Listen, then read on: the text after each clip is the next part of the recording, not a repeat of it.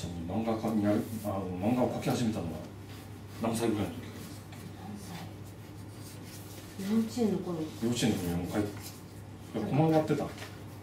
いや駒は割ってないであの一枚絵にセリフを入れるようなはいはい感じで、あの飼い猫の太郎っていうのがいたんですけど、えそれを主人公に。え 猫漫画だったの？最初は。猫耳漫画でし猫耳漫画。実は猫耳のキャラクターも出して出せるといいですね。猫股とかね駒割ったのっていつぐらいですか？ったのは小学校3年生とかその時読んでた漫画とか好きだったさ作品とその時はセーラームーンでした。か もうそんな世代なんですね。その世代です。ね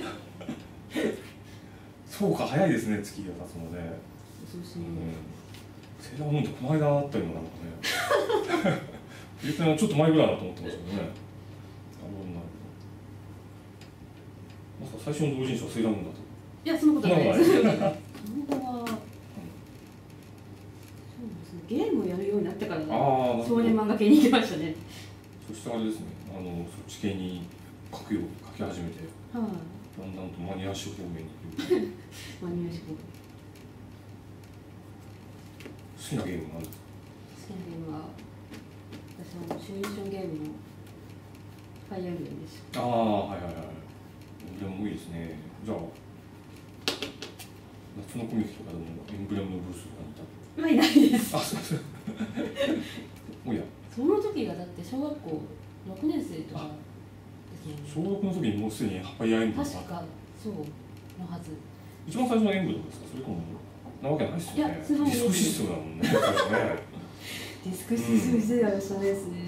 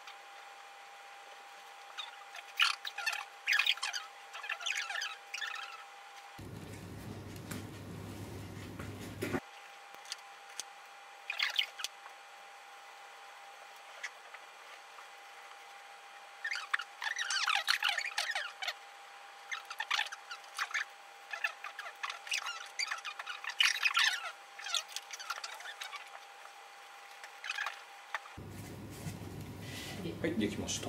じゃあ。